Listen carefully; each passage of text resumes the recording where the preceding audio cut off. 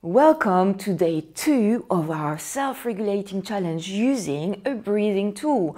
Do you sometimes get triggered to the blue zone and it looks just like that?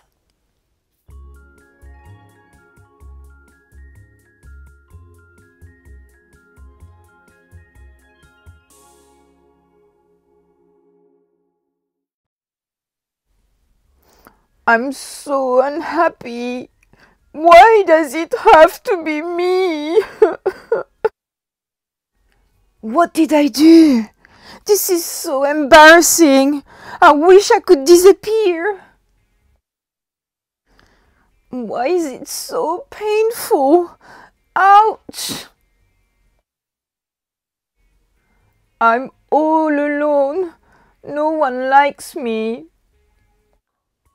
Well, I have the perfect tool for you to open your heart and energize you to get you back to the green zone where you feel loved, nurtured, and ready to learn. Let's go!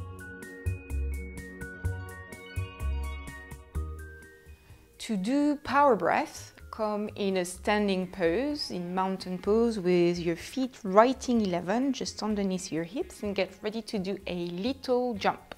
Quick. So make sure that your feet are nice and parallel still.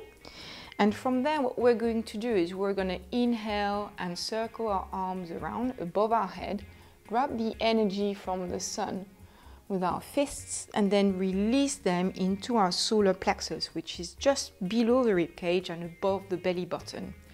And when we do the release, we're to make a ha sound. So it goes like this. I'll show you once and then we'll do it together. So inhale up and release ha. All right, let's do five of those together. Here we go. Inhale up and release down. Ha! Inhale. Release. Ha! Inhale. Release. Ha! Inhale. Release. Ha! And last one. Inhale. And release. Ha!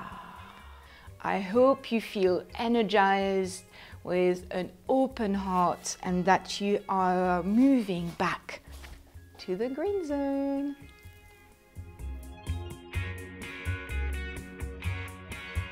Did you know that when you inhale, you stimulate the sympathetic nervous response that gets you to do things? Therefore, when you inhale longer than you exhale, you wake your body up.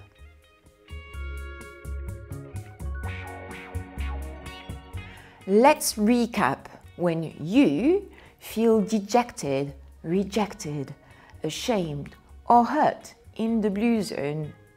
Do the power breath to open your heart, energize you, and get you back to the green zone where you feel loved, nurtured, confident, and ready to learn.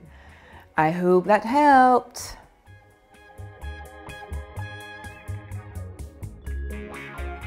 If you want to find out a little bit more about the Blue Zone, then click on the link below. It's bye for now.